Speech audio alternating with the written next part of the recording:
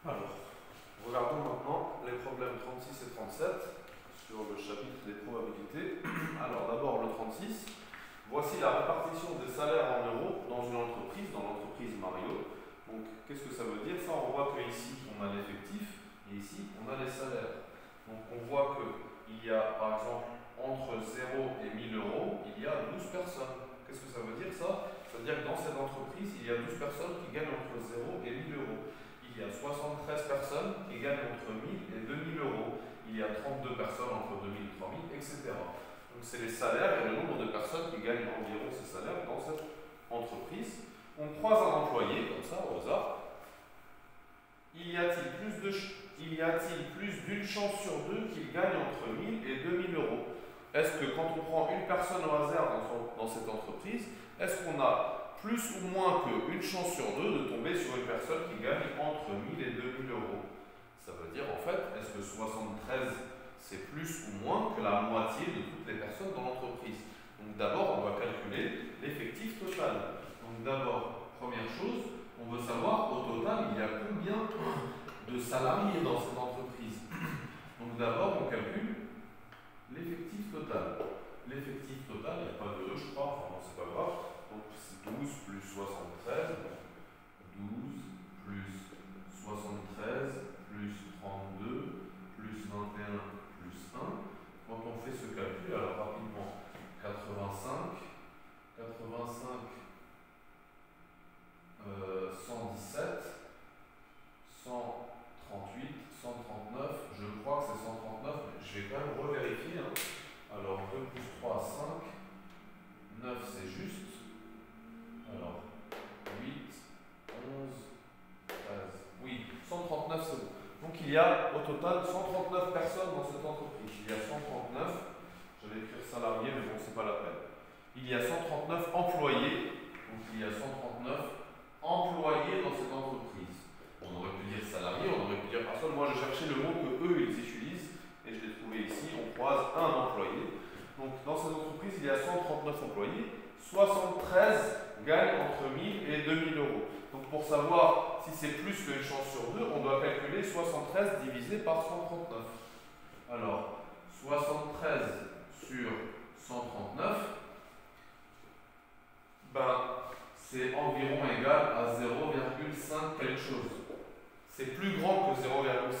Si on calcule exactement, je n'ai pas fait le calcul exact, mais pourquoi pas le faire? Pourquoi pas? Voyons combien de temps ça nous prendrait de poser cette division rapidement. Je ne l'ai pas fait à la calculatrice, donc 73 divisé par 139, 0 fois 139 égale 0, il reste 73, on descend un 0, 139 combien de fois dans 730 Je sais que c'est 5 fois quelque chose, alors 5 fois 139, ça fait 695, si je ne me trompe pas, 5 fois 139, ça fait 695, 730 moins 695, ça fait 35, et on rajoute un 0.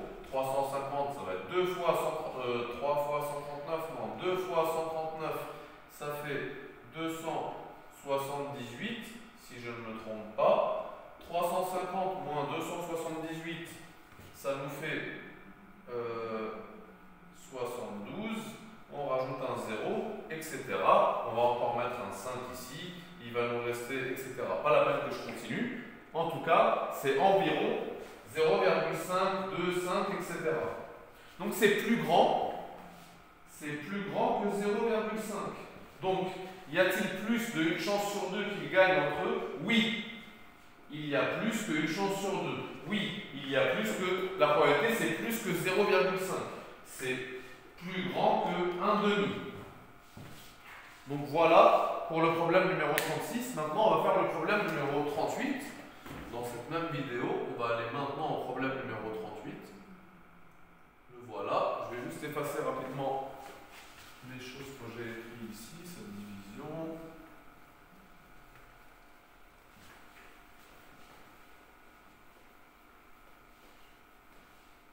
Alors, l'exercice 38. Le document suivant, qui parle de ce document-là, je suppose, le document suivant donne la répartition par classe d'âge des patients ayant contracté une infection lors d'un séjour dans un établissement de santé français, en Donc, en 2012, dans un, établissement de santé, ça veut dire un hôpital.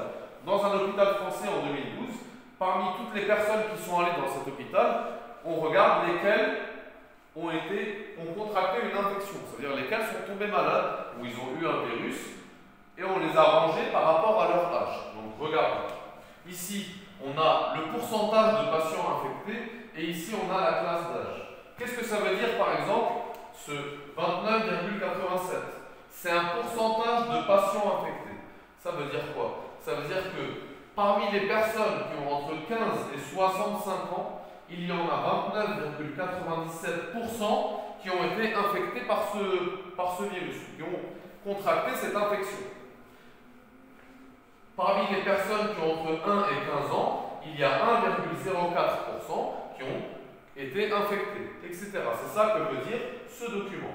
La question c'est, donc d'abord, on choisit au hasard le dossier d'un de ces patients, on prend un, un patient au hasard, quelle est la probabilité que ce soit un patient âgé de moins de 65 ans? Alors, je veux juste relire depuis le début. Le document suivant donne la répartition par classe d'âge des patients ayant contracté une infection lors d'un séjour dans un établissement de santé français en 2012. Ok, moi ce que je vous disais c'était faux. Ça ne veut pas dire parmi les personnes qui ont entre 15 et 16 ans, il y en a 29,97% qui ont, été infectées. Non, Parmi toutes les. Moi, j'avais mal compris. Maintenant, j'ai bien compris. Parmi toutes les personnes qui sont infectées, donc on a un certain nombre de personnes infectées, parmi toutes ces personnes, il y en a 67,24% qui, qui ont plus que 65 ans. Il y en a 29,97% qui ont entre 15 et 65 ans. On a 1,04% qui ont entre 1 et 15%. Et on a 1,75% de personnes qui ont entre 0 et 1 an. Donc sur toute la population des personnes infectées, voilà les pourcentages en fonction des âges. Donc, maintenant on regarde la question. Quelle est la probabilité que ce soit un patient, un patient âgé de moins que 65 ans Deux manières de faire ce calcul? Si c'est un patient de moins que 65 ans, que soit il est dans cette classe, soit dans celle-là, soit dans celle-là. Donc on peut additionner ces trois nombres. On va commencer par faire ça. Donc méthode 1, méthode A, on va faire 1,75 plus 1,04 plus 29,97 pardon 97 donc ce calcul il va faire combien? Ça ça fait 2,79 plus 29,97 donc il va falloir calculer ça ça ça va nous faire 32, pourquoi je mets un 6 c'est un 7 32,76. Donc on a 32,76% des personnes ou des patients, est la probabilité que soit un patient âgé de moins de 65 ans. Donc on a 32,76% des patients ont moins de 65 ans. En probabilité, ça ferait proba, deux points, c'est 0,3276. En probabilité, si c'est un nombre décimal, c'est comme ça. En pourcentage, c'est comme ça. Eux, ils ne nous demandent pas le pourcentage, ils nous demandent la probabilité, donc il faut plutôt donner ça. Deuxième méthode, méthode B, pour faire ce calcul. Alors, la probabilité que, les, personnes, que les patients soient âgés de moins que 65 ans, eh ben on peut faire 1 moins les personnes qui ont plus que 65 ans. Donc on peut faire, pardon, 100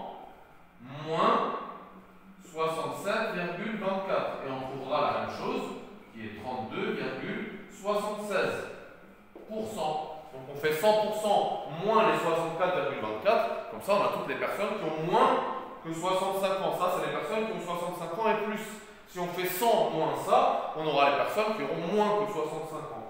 32,76% qui fait ce qui fait en proba 0,3276. Voilà les exercices 36 et 38.